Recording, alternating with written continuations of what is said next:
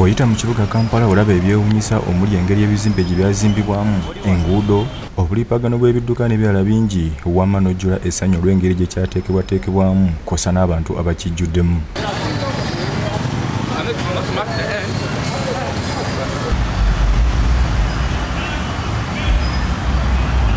wabula abamu bakoma kuliisa maaso olw'ebirungi ebikirimu ne batamanya amakulu agabijjuddemu okuli ebyobulambuzi. Bw'otambulira ku nguudo ezimu wano mu kampala nga speak road kujjudde ebijjukizo eby'enjawulo ng'ekyamefuga n'ebirala bingi.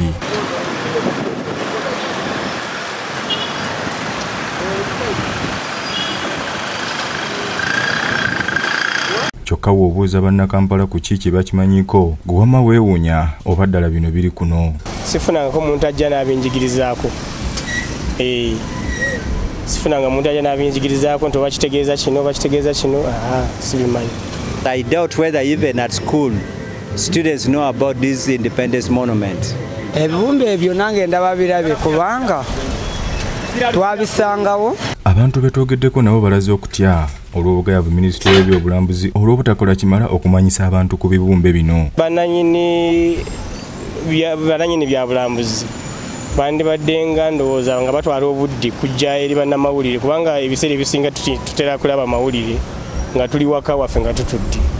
Ne batutegeeza kati nga kibumbe kino ekiri wano nti kitegeeza kino kyaliwo omwaka guno kyakolebwawo ekiti. Yeyongera okusaamu ebintu byebimu bwe bityo n'ebibumbe byetumanyi ne bitutamanyi beyongera okubiteeka kubanga bijja kuleetera naffe e, e uganda yaffe okulaakulana What a monument is to people is very important.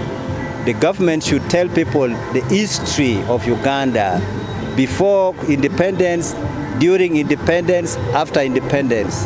What activities took place? Rose mwanja owa sites and monuments ku uganda museum agamba kituufu ebimu ku byobulambuzi bisuuliddwa olaba akwongeramu amaanyi okulaba nga bannansi bategeera ebyabwe. Bwe tunaaba tufunye obusobozi tujja kufuba okusomesa abantu baffe lwaki ebijjukizo bikulu gye tuli lwaki tulina okubirabirira obulungi lwaki tulina okubiwa ekitiibwa kubanga byebitwogerako obuwangwa bwaffe. Obadde okimanyi nti ekizimbe kya shiri ekyabayindi kye kimu ku bijjukizo wano mu uganda gwooza kyetaagisa ki bannansi okumanya ebyabwe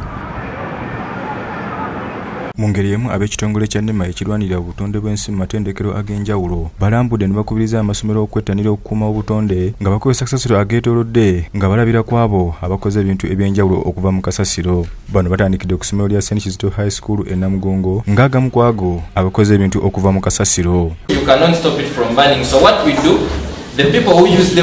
bano basoose kulambuzibwa ebifo ebyenjawulo awaterekerwa kasasiro we bakolera naye bye bakozeewo nga babijja mu kasasiro nga bino bibayambye mu kukulaakulanya essomero lyabwe. Mu bintu bye bakola mulimu amanda ebibumbe bye bakola mu mpapula n'ebirala bingi. When you look at our current status, institutions consume more than 75% of the daily firewood being consumed.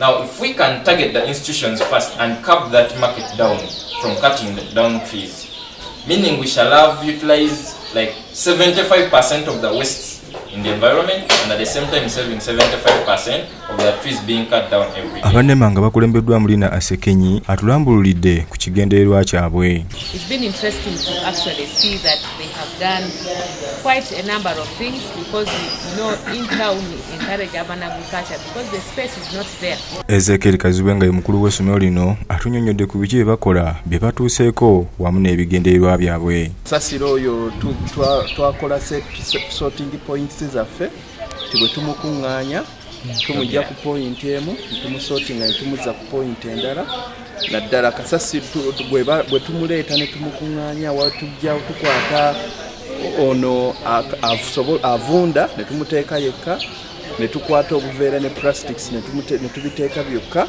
ne tukwata empapula nazo ne tuziteeka zokka buli kimu ne tukikozesa.